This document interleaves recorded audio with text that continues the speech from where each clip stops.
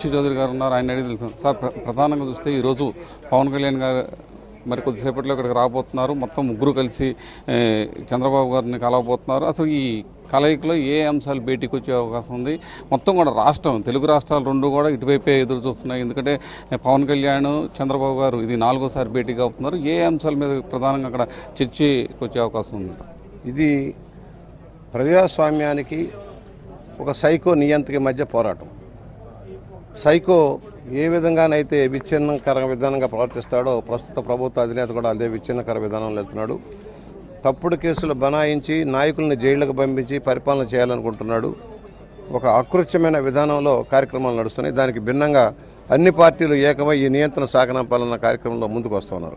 దానిలో భాగమే పవన్ కళ్యాణ్ గారు కానీ చంద్రబాబు గారు కానీ ఇతర కమ్యూనిస్ట్ పార్టీలు కాంగ్రెస్ పార్టీ కానీ అందరూ కూడా ఏకమై ఈ నియంత్రణ తొలగించాలి నియంత్రణ సాగనంపాలనే ధ్యేయంలో పనిచేస్తున్నారు. దానిలో భాగంగానే ఇవాళ చంద్రబాబు గారిని పరామర్శ ఒక తప్పుడు కేసులో ఇరికించి ఏమీ లేని అభూత కల్పంతో కూడుకున్న కథను వాళ్ళని మళ్ళీ రిమాండ్కి పంపించారు కనుక దాని మీద పోరాటం చేయాలని పోరాట కార్యక్రమాన్ని నిర్దేశించుకోవడం కోసం ఇవాళ పవన్ కళ్యాణ్ గారు కూడా వస్తూ ఉన్నారు.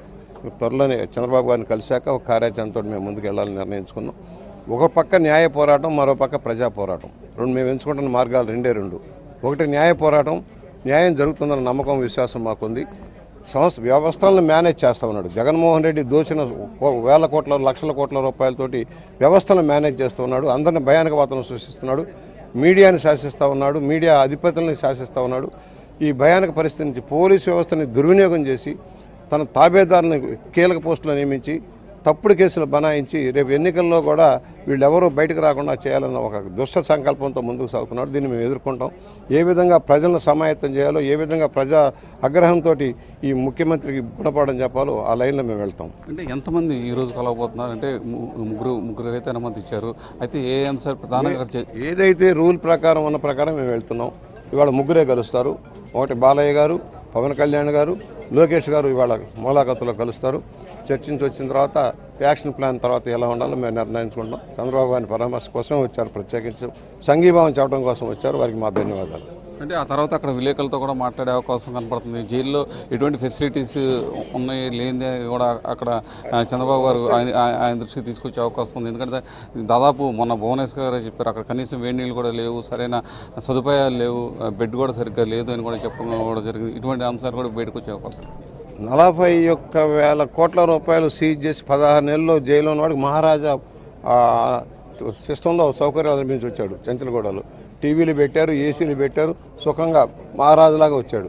ఇవాళ తొమ్మిది సంవత్సరాల ముఖ్యమంత్రి అని నలభై ఒక్క సంవత్సరం నలభై ఐదు సంవత్సరాల రాజకీయ చరిత్ర కలిగిన జాతీయ నాయకుడు. ఆయన మీద తప్పుడు కేసు పెట్టి పెడితే కనీస సౌకర్యాలను వైఫల్యం చెందుతూ ఉన్నారు. టేబుల్ ఫ్యాన్ పెట్టారు. టేబుల్ ఫ్యాన్ ఆయన ఆరోగ్య రీత్యా అసలు ఏసీ ఉండాలి. ఏసీ పెట్టలేదు టీవీ పెట్టలేదు టీవీకి ఛానల్స్ ఇవ్వలేదు బయట ఏం జరుగుతుందో తెలియాల్సిన అవసరం లేకుండా చేస్తూ ఉన్నాడు. దుర్మార్గ పరిపాలన.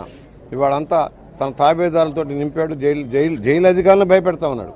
పోలీసు అధికారులు అందరూ కూడా నిన్న ప్రశాంతంగా నిరసన దీక్ష చేస్తే ఈడ్చి బయటపడేసి పరిస్థితి వచ్చిందంటే ఎలా ఉందో ఒకసారి ఆలోచన చేయాలి.